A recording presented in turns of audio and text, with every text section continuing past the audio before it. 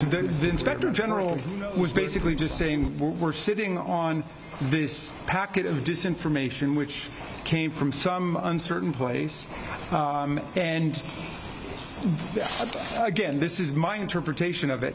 There, there may be misconduct by the Secretary of State or other State Department employees in distributing this if they know where it comes from and they know that it does not have any authentic source in the White House. But maybe it did come from the White House. We just don't know where it came from. I think that's the big mystery here. It's very clear what it is.